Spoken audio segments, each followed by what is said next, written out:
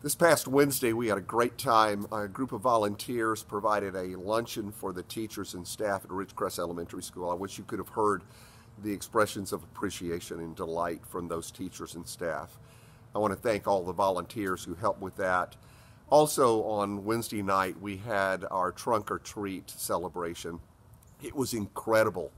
Uh, thank you to all of you who sold tickets and gave tickets to friends. We had between 350 and 400 people who participated in, in that. And thanks to all of you who decorated your cars and your trucks, for those of you who helped uh, oversee games and just being there and helping with food and everything else and cleanup as well. We appreciate it. We want to be a kind of church that if we were to go away and close our doors, that even the atheists and agnostics in our community would be saddened and disappointed because they see us as good for our community.